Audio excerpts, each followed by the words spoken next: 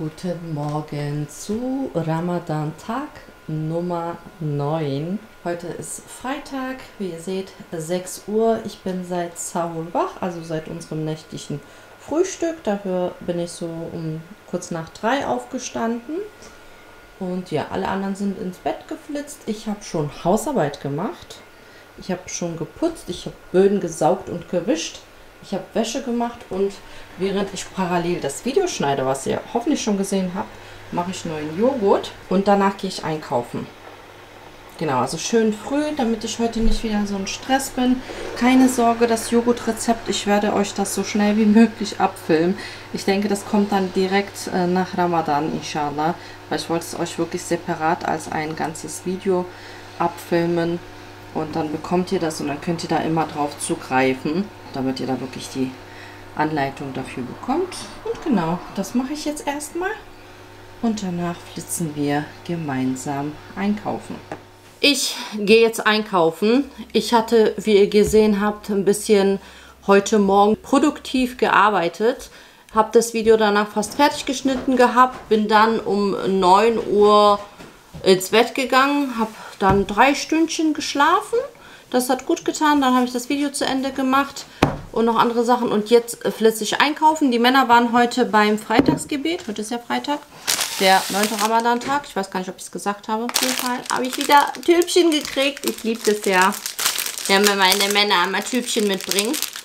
Ähm, ja, ich gehe ein bisschen einkaufen, dann kochen. Habt ihr ja gesehen im letzten Video.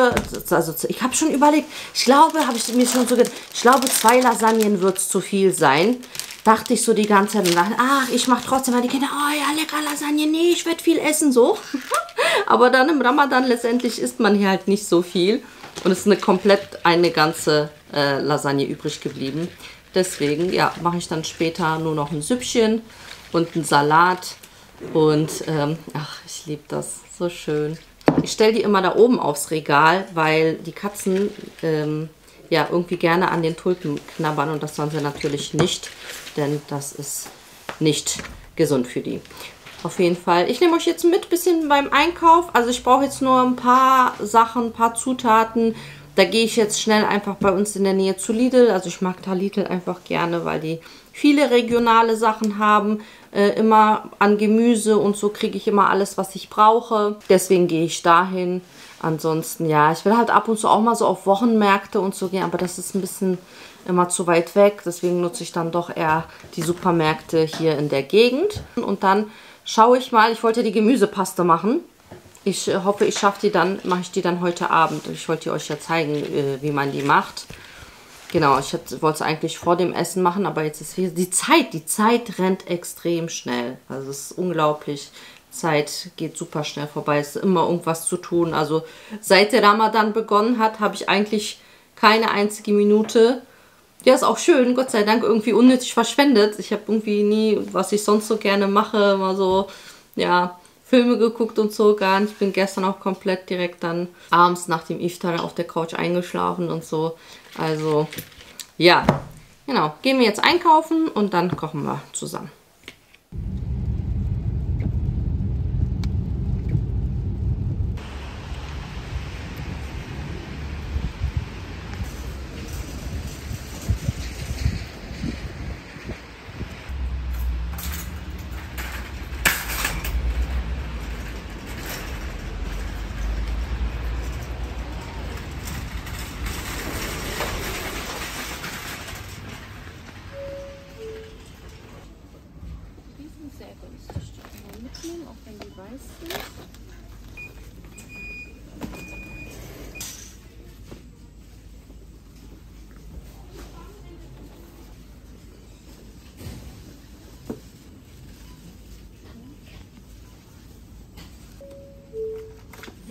Kunden, Sie öffnen Kasse 3 für Sie.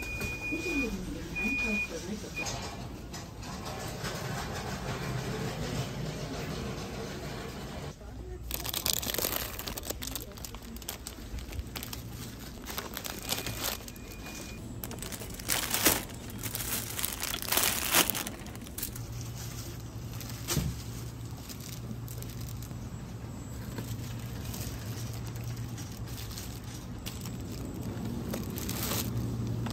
erste Mal, dass ich die bei Lidl sehe.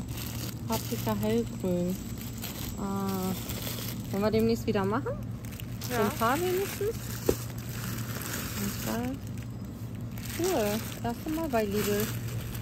Oder wahrscheinlich sind die so schnell wie weg dann. Sogar die türkische Paprika haben die hier. Aus Türkei. Cool. Davon habe ich aber noch zu Hause.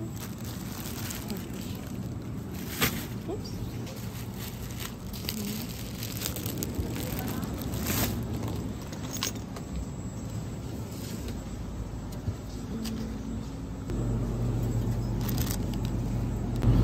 Heute mein Fertigkäse. Ja, aber der. Ja, heute schaffe ich es wieder nicht zu backen. Aber ab und zu mal, ganz selten, kann man auch mal was Fertiges kaufen. Und ich mag den von Lidl, der schmeckt lecker. Den gibt es heute. Warte, ich gucke nochmal, nicht, dass da irgendwas drin ist. Man weiß ja nie, Rezepturen ändern sich ja immer. Nicht, dass da irgendwas drin ist, was da nicht eingehört. Nee, der ist auch von den Inhaltsstoffen nicht ganz so dramatisch wie manche andere Produkte. Der ist okay. Ach, hier ist auch ein vegetarisches Zeichen. Das ist immer praktisch, wenn das dran ist. Natürlich zwei. Will ja jeder was davon haben. Die sehen eigentlich ganz gut aus.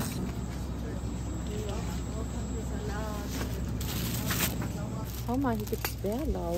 Soll ich mal eine Bärlauchsuppe machen?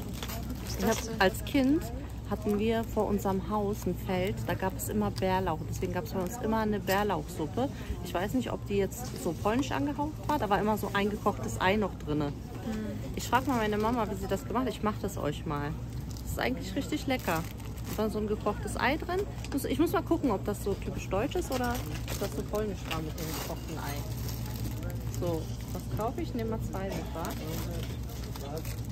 Nehmen wir zwei mit.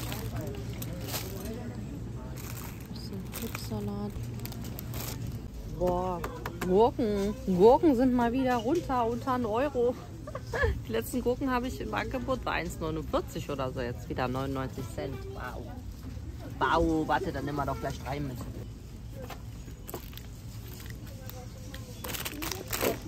Sieht hübsch aus.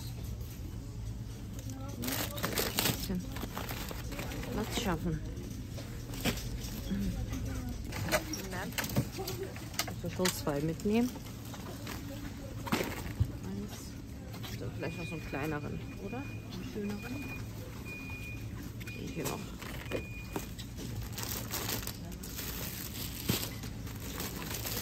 So.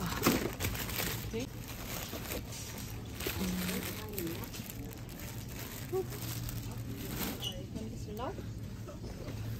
Ach, ist das Stück? Was? Das ist ja Stück, die sind ja so dünn. Ja, es ist ein bisschen teuer, Stückzahl. Bisschen mager Bisschen klein. Aber gut. Hier da aber noch.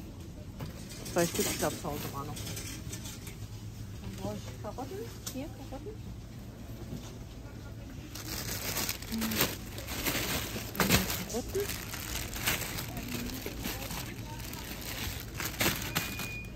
Mhm. Dann- Oh.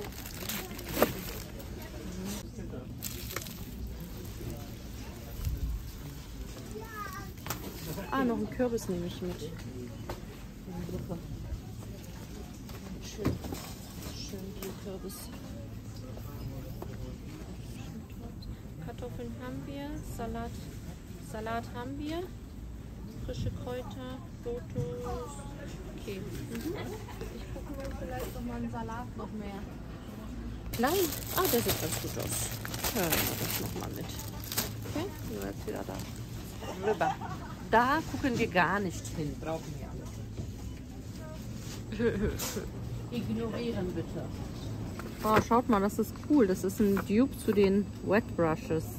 Ne? Und was sind die? Wie, wie heißen die? Tangle Teaser. Tangle, Tangle Teaser, ja. Welches nehmen wir? Das blaue? Ja. Was gibt's noch? Ja, das ist so. Und das ist so ein kleiner Stiel. Nee. Ich auch den Noch den? Okay. So, weil die Kinder ihre Cookies lieben. Kasse Nehmen 3 bitte.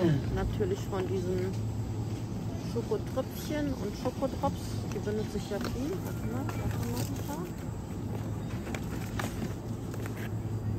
braucht man immer zum Backen. Ein bisschen auf Vorrat.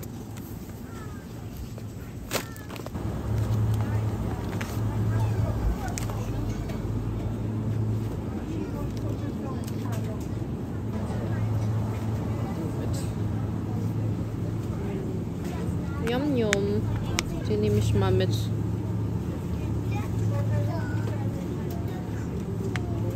ist der Pettige.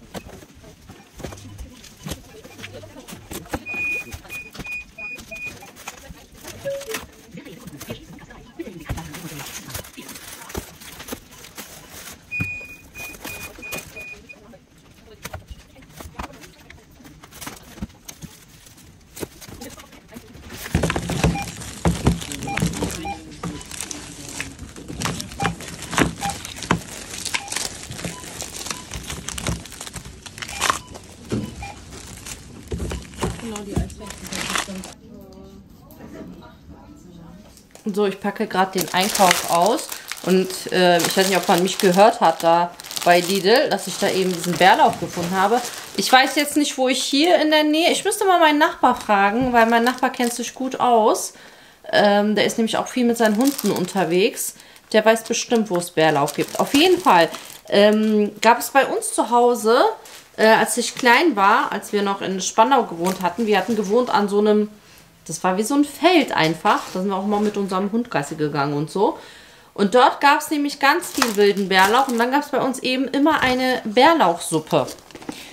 Und ich muss mal meine Mutter fragen. Ich gucke mal kurz zum Beispiel in der Cookido-App, was es da für eine, wie die zum Beispiel gemacht ist. Weil wie gesagt, ich weiß nicht, ob es jetzt äh, typisch so polnische Art war oder, ne?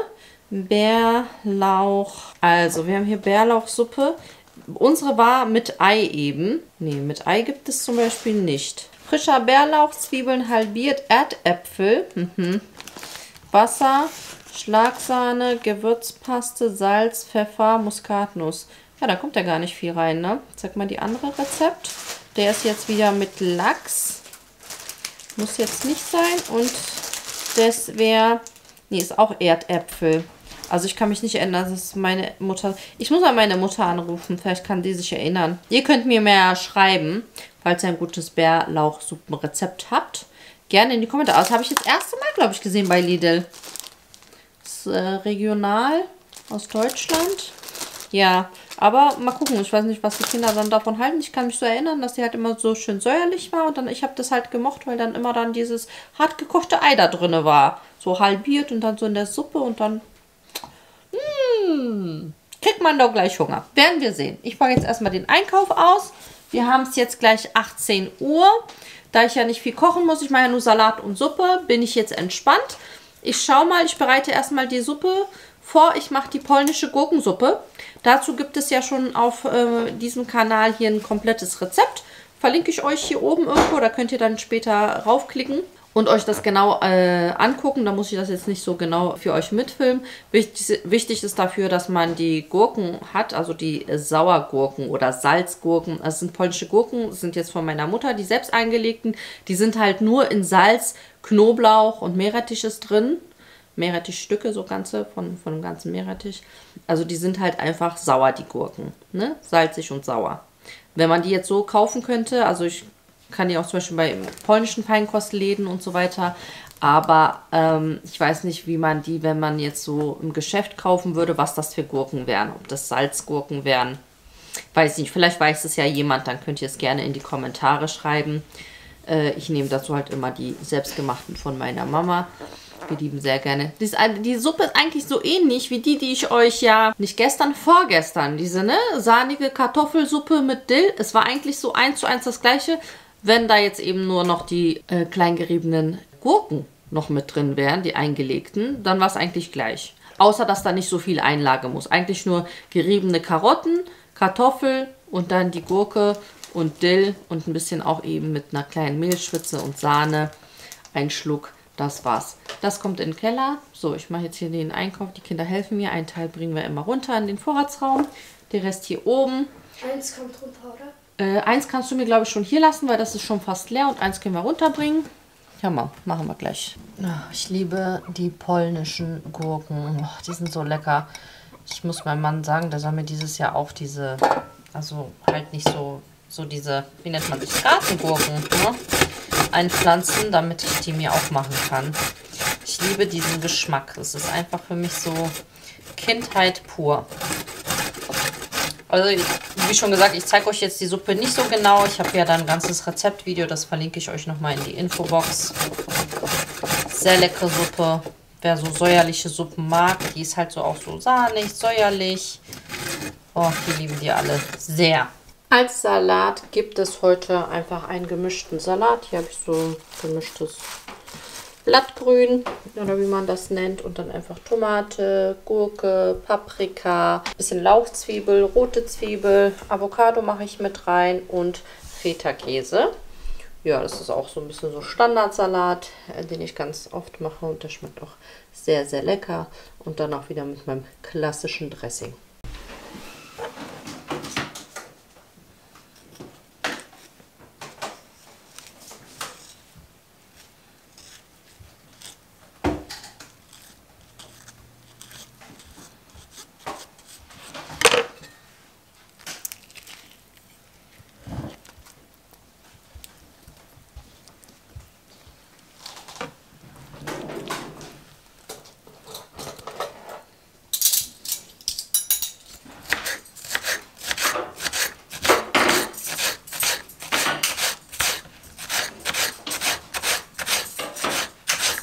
Wow, heute war ich aber kurz in der Küche. ich musste nur Suppe und Salat machen. Das ist ja mal schön.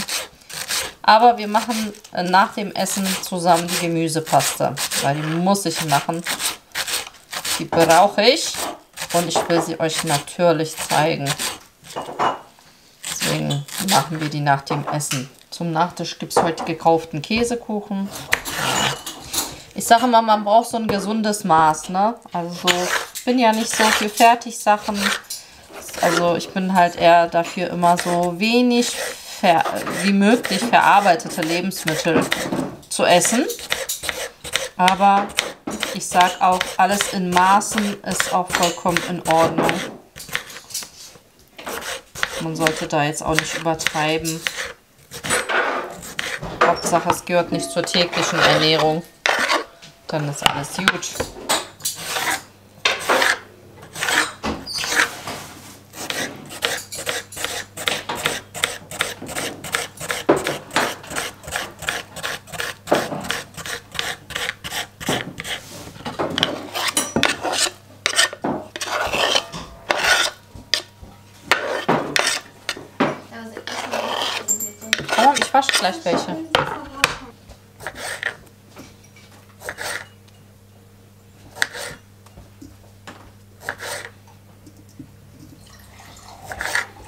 Was, oder willst du für morgen noch aufheben, oder? Oder für saure Fleisch hast ah. du. Ah.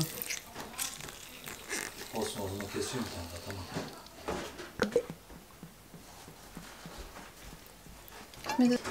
Bu zaten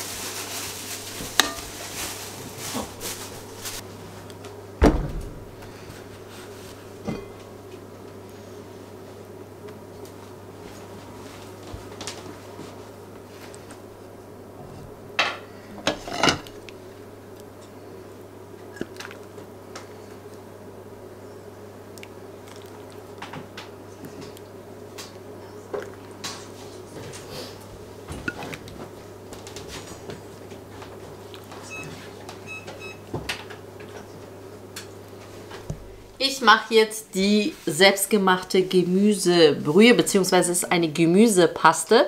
Ich wusste selbst gar nicht, dass man das so selber machen kann. Das habe ich erst durch den Thermomix gelernt. Ja, aber ich denke, das könnt ihr natürlich auch ohne Thermomix machen. Der ist natürlich in dem Sinne praktisch, weil er mir alles kleinschreddert wird, also kleinschreddern tut und dann auch eben gleichzeitig einkocht. Aber ihr könnt das natürlich auch alles selber machen. Ihr müsst halt einfach nur Gemüse nehmen, was ihr mögt, also beziehungsweise was in so eine Gemüsepaste halt einfach Geschmack gibt. Sowas wie Sellerie, könnt halt auch Knollensellerie nehmen. Eine Zucchini kommt rein, zum Beispiel Pastinake, mache ich aber nicht jedes Mal mit rein. Wenn ich sie da habe, tue ich sie mit rein. Ein paar Pilze, Karotte, dann etwas Tomate, dann für den äh, kräuterigen Geschmack dann zum Beispiel Petersilienstängel, ich mache persönlich auch noch mal einen Chili rein, müsst ihr nicht. Äh, Knoblauch, Lorbeerblätter. Ich habe hier Bohnenkraut und Thymian und frischen Basilikum, der kommt mit rein. Eine Zwiebel und Parmesankäse. Den könnt ihr aber weglassen, wenn ihr das Ganze vegan lassen wollt. Dann kommt zum Schluss etwas Olivenöl und dann grobes Meersalz. Ist auch relativ viel, aber es halt eben, ja, dient auch so ein bisschen für die Haltbarkeit. Ja, und dann müsst ihr dann halt eben später eben schauen, dass ihr dann nicht so viel Salzen tut, wenn ihr von der Gemüsebrühe was reingebt. Bei mir wird es halt eben der Thermomix alles klein schreddern und dann einkochen. Aber ihr könnt jetzt eben den Schritt machen. Vielleicht habt ihr eine Küchenmaschine, dann könnt ihr dort es einfach klein mixen. Also jetzt nicht direkt pürieren, aber etwas klein schreddern. Oder ihr hackt es eben ganz fein und dann wird das Ganze eingekocht und am Ende nochmal püriert. Das könnt ihr dann auch entweder mit einem Gerät machen oder mit einem Pürierstab. Aber das ist eigentlich alles. Also ich werde jetzt erstmal hier die Sachen noch waschen und dann geht's los.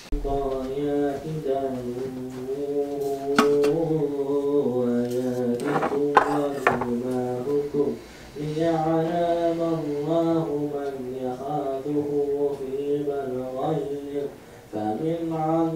بعد ذلك فله عذاب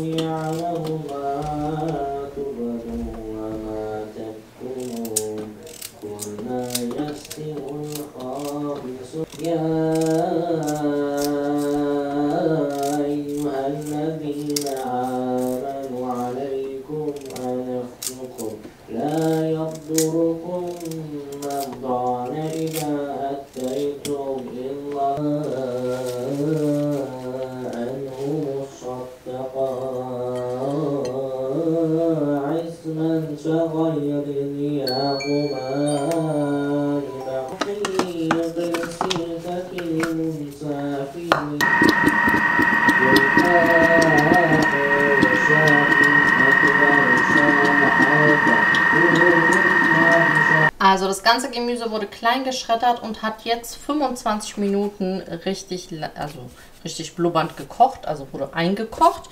Jetzt kommt zum Schluss, huch, war ja ausgekriegt hier, noch der Parmesan rein. Der wird jetzt noch untergerührt und dann wird die Gemüsepaste abgefüllt und ist eigentlich fertig. Die Gemüsepaste wird jetzt heiß in diese Gläser eingefüllt. Die habe ich vorher einmal mit kochendem Wasser ausgespült, zugemacht und im Kühlschrank gelagert. Und das Ganze ist mehrere Monate haltbar. Also ihr könnt, wie gesagt, einfach in einem anderen Mixer euer Gemüse klein schreddern, in einem Topf einfach einkochen. Das war, wie gesagt, 25 Minuten hat das Ganze ja eingekocht. abfüllen, im Kühlschrank lagern. Ich habe jetzt hier nochmal eine größere Portion gemacht. Ich habe halt mich nicht jetzt genau an dieses Rezept gehalten, was jetzt so der Thermomix sagt. Ich mache da immer so meine eigene Mixtur so ein bisschen. So.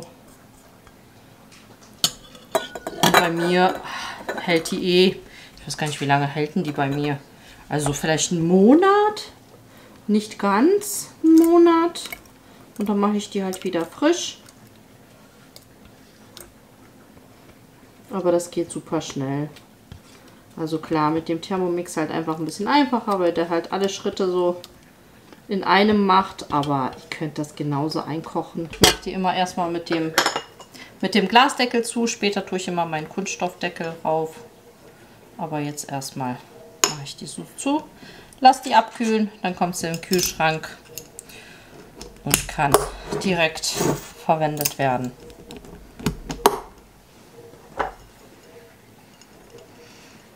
Also echt super. Braucht ihr echt keine Gemüsebrühe kaufen. Ich finde das sogar noch viel leckerer in jedem Essen als die gekörnte Gemüsebrühe. Gemüsepaste ist fertig. Mein Joghurt, den ich heute Morgen, wann habe ich den gemacht? Ne? Um 6. Der ist auch fertig. Der kommt jetzt unten in den Kühlschrank, sieht man das? Der ist sehr lecker. Äh, wie gesagt, meckert nicht mit mir. Ich werde das Rezept so schnell wie möglich direkt nach Ramadan abfilmen und euch hochladen. Wirklich als einzelnes Rezeptvideo. Damit ihr das dann endlich habt. Weil so geht es immer in den Vlogs leider verloren. Und dann hatte ich es mal in einem Video gezeigt und dann fragt ihr immer wieder und dann findet ihr das nicht. Also keine Sorge. In der Zwischenzeit habe ich eh mein Rezept nochmal perfektioniert. Also ist das auch nochmal gut. Ja, also, das, heute ist ja Freitag. Ihr seht das am Samstag. Ich wollte euch jetzt schon mal Bescheid geben, dass ihr am Sonntag kein Ramadan-Vlog sehen werdet, sondern ein Produkttest-Video. Das kommt am Sonntag. Dafür kriegt ihr dann am Montag sozusagen Samstag und Sonntag. Für mich ist es eigentlich ganz gut, weil Samstag sind wir eh zum Essen eingeladen bei der Family. Deswegen, ja, dort werde ich wahrscheinlich eh nicht filmen können. Und ich nutze dann halt auch den Tag, weil ich noch eine andere Werbung filmen muss, vorfilmen muss. Deswegen ist es eigentlich ganz gut so. Aber ich werde sehen, was am Samstag los ist. Also das kommt dann, wie gesagt, am Montag kriegt ihr dann sozusagen zwei Tage. Da bekommt ihr dann Samstag und Sonntag. Aber schaut trotzdem morgen, für euch ist es am Morgen, ähm, das Produkttest-Video, weil ich finde das richtig, richtig toll. Lohnt sich anzuschauen. Das ist ein echt... Ja, ich habe was ganz Tolles getestet und ich bin da echt happy, dass ich das testen durfte. Deswegen schaut da vorbei. Ich hoffe, das Video hat euch gefallen und wir sehen uns trotzdem morgen wieder und übermorgen nochmal, inshallah. Vielen Dank fürs Zusehen. Vielen Dank für jeden Einzelnen, der ein Like da lässt, der den Kanal abonniert hat. Hier seht ihr auch wieder die ganze Playlist und so weiter. Schaut da gerne vorbei, falls ihr die anderen Ramadan-Vlogs noch nicht gesehen habt. Und ich hoffe, wir sehen uns beim nächsten Video wieder. Bis bald!